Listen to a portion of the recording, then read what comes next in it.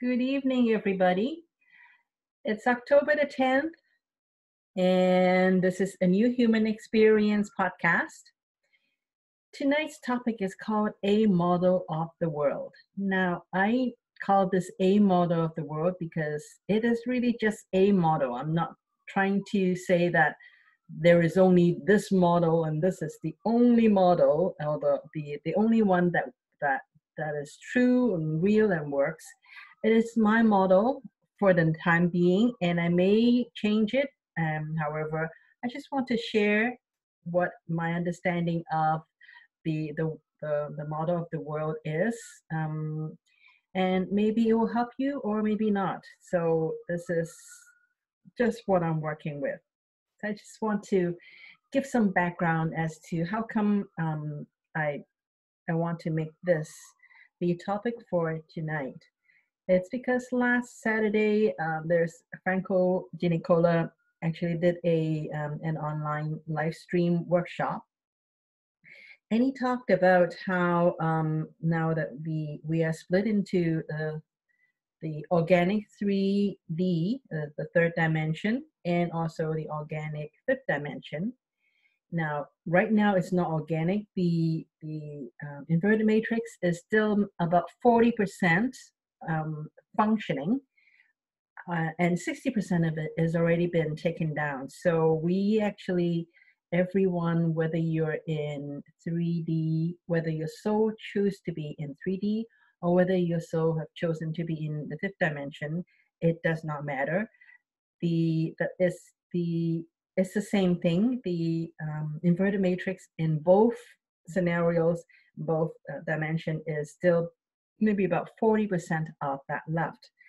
And he did mention that the the rest of the year and also we have about um, the, uh, the rest of the year towards the end of the year, then the rest of the 40% of the inverted matrix will also be dismantled as well, which means that we, the um, inverted matrix will no longer be supplying extra fuel for our ego. However, we still have to do the inner work. We, each and every one of us, whether we're in 3D or 5D, we still have to do the inner work to let go of our programs and also to dismantle our ego as well. Because as long as there is the ego, then um, oneness will, um, it's not easy for us to really understand what oneness is about and how to play in oneness. Because even in the third dimension consciousness, oneness is actually part of the third dimension. It is just even more accentuated when you get into the fifth dimension.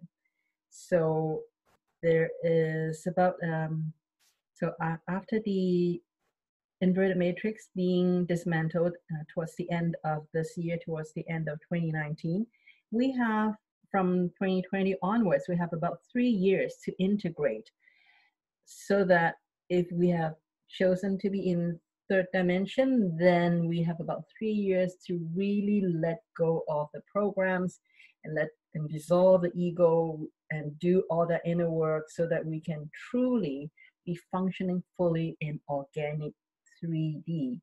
And the same thing for 5D, not that we um, we have to take that long. However, we are given that period of time as a maximum. So in three years, our soul would um, really help us to give us, um, I would say, sometimes if we needed a kick in our butt in order for us to really work on ourselves and and also all that our soul would orchestrate all that so that by the end of that period we actually would be all functioning in organic 3d or organic 5d depending on what the, our soul had picked. So that's why I want to share with all of you the a model of the world because I find that um, when I have this different understanding of a model of the world, then it actually helps me to look at my own programs and really be able to um, work on releasing and dissolving my own ego as well. So let me just begin. So whatever you see right now is a model of the world. So this is the the model of the world that um, we have when we're under the inverted matrix. So when we're under the inverted matrix, this this you know black lady here representing me. So I'm just telling this is a representation of my understanding of what um, the ego looks at the world. Is the ego is this black um, representation of my body, which is me, um, Winnie, and then the world would be uh, yes i have a lot less people in the world but actually this is just to tell you that there's all the other people so this so this kind of circle is really the world as me as the ego looking out and meaning that the world is separate from me. And the world does not mean that it's only people it's also um, things places mountains animals what have you galaxies or planets all of that is completely separate from me so i am me the ego is the black lady um, representing how my ego look at it is that I am separate from the world. So when you're living in this model of the world from the ego's point of view, then the world is a scary place because if I'm separate from the world, then um, I would all things would always be happening to me, and I would, from the ego's point of view, I would have to do something in order to make myself safe because I'm just this one little person in the world and it's so much bigger than me and I can't control anything. So I would have to think of strategies in order to control the people around me, the events around me. So I may um, adopt different strategies, how to control the people around me. For for example, when I was you know a little baby, I would um, make, like control my, my mother or my father by just being cute, just smiling at them, being cute. Or sometimes I may just cry so that they would, you know, go into a panic and just try different things, give me food or change my diaper or all that. So so that's the strategy that I've learned that if I do something, whether it is I smile at them or I cry, depending on what works better for my environment, I would use that strategy to try to control the people around me so that I would get I would get changed, I would get all the things that my my little body, the the ego thinks that this little body is me. So I would that's how I start to learn how to control the people around me so that I can um, get, so that I can stay alive. And then as I grow, there will be other things I will need to um, start to maybe adopt the, the strategy that if I have money, if I find ways to earn money, then I can start to control things like being able to um, eat at better restaurants, being able to you know, drive a nicer car or live in a better house, sleep on a, better bed, and all those things. And you know, buy the latest iPhone so that people would you know think that I'm I'm doing well. All these little strategies, and as long as I am separate from the world, then this fear would come in the fear of I'm not in control. I need to do something in order to make sure that I survive. So this is all from the egoic point. And so everything I do, no matter what it is, is all to solve this problem of I am separate. So this is what um, I, the, the model of the world. When we are under the the inverted matrix we and i was born into it and everybody else that's on the the call right now we're all born into this model of the world. And it is really um, and we we did the best we could whether we um, learn whether we go to school so that we can um, learn skills to help us better manage uh, our environment and all that. That's that's all that is about. So i'm to actually go to a different model of the world which i propose um, we can have. Uh, let me see.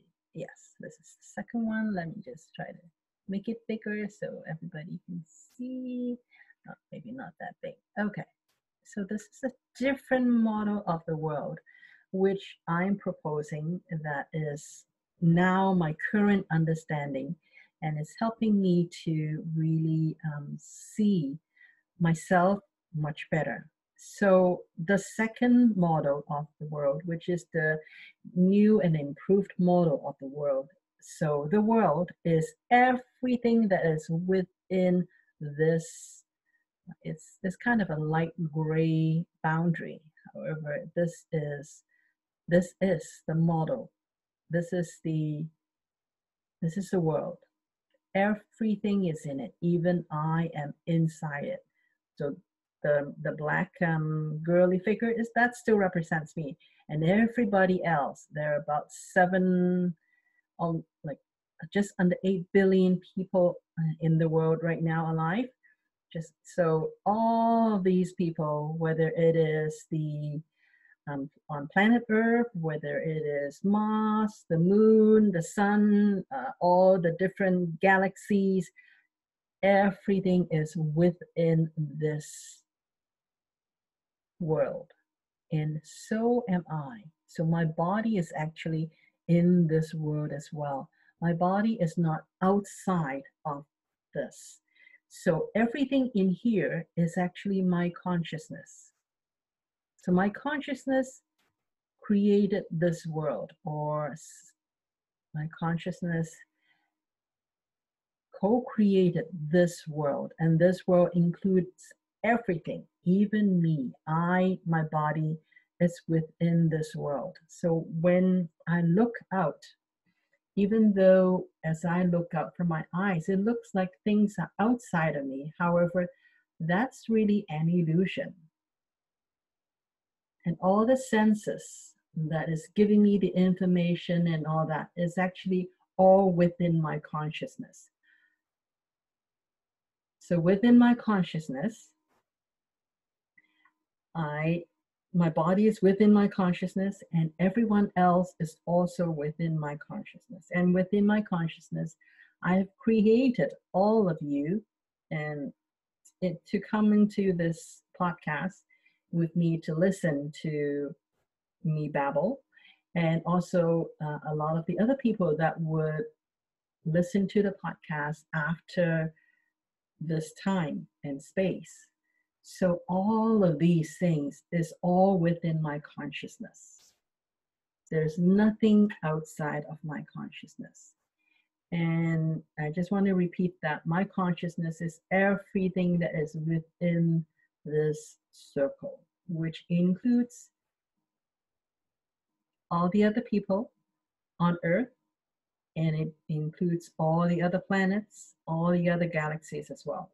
Those everything, whether it's aliens, whether there are any other living beings in the other planets, galaxies, or not. I'm not going to debate that, but I'm just saying that all and everything is within my consciousness, including my body. So, how and why do I find that this is a better model of the world? Because if I if I look at it from this way, that everything is within my consciousness, then it's a lot of it makes sense is that this really represents oneness. Because everything is just one and within my consciousness everything is actually one. It helps me transcend the separateness because my body is actually within my consciousness. My consciousness is not within my body. It's actually the other way around. It actually our senses actually fooled us into thinking that our consciousness is in the body, but it's not. It's actually our body is within our consciousness. That's why when things like my mother um, being who she is triggers me sometimes. It actually triggered me a lot in the past, but nowadays she triggered me a lot less. So, how is that possible? That's only possible that she knows exactly what to say in order to trigger me is because we are all within this consciousness. That's why she knows exactly what she needed to say in order to help me realize that I have all these programs that's running me and is not letting me um, be free so that I can experience my mother for who she is and accept her completely so that I truly understand that she is just another aspect of me. And when I start to look at the world and everyone around me in this way, actually, it helps me to um, really look at what my ego is doing and what programs actually showed up.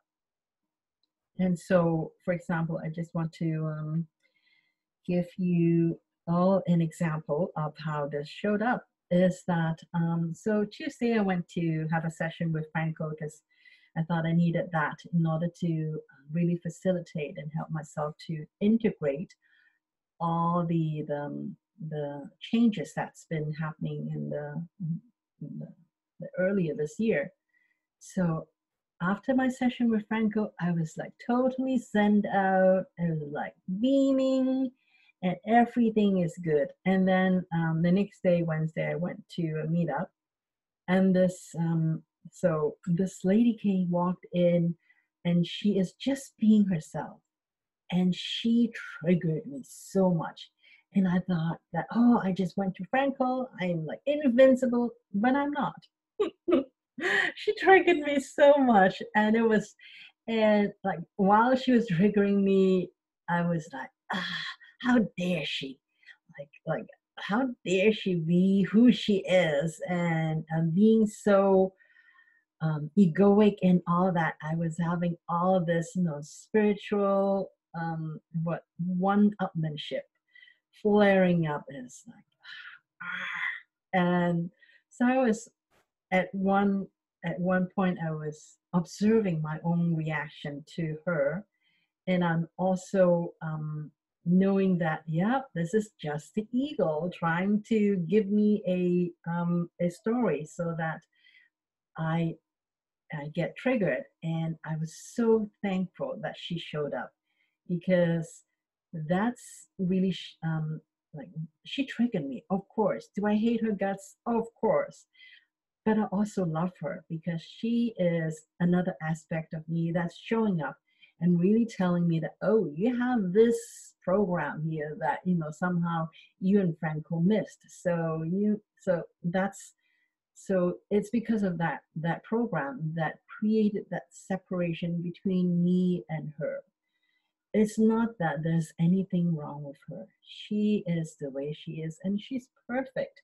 I just hate her guts for being so um, brazen because i don't have the guts to be totally who i am no matter who is there like i um, like to adjust myself so that I can fit in. But she doesn't try.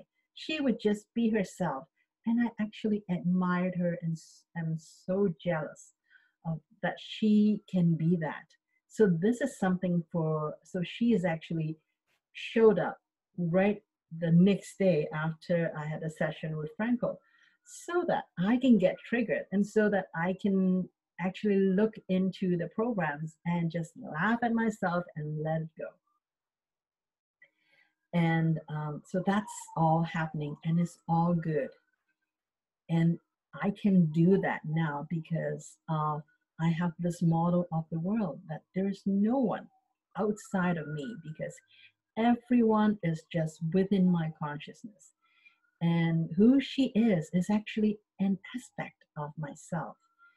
And if I look really start to extend that, then there is really nothing that would um, if I really go and do the work, that nothing can actually faze me anymore. I should say nothing will trigger me anymore, because you know, for example, I've heard that um, even yesterday in the evening that uh, somebody shared on the, the the call that they are worried about because they they live in Hong Kong, so they're worried about the um, students' protest is really bringing that level of unrest, and they're not comfortable and they don't feel safe there.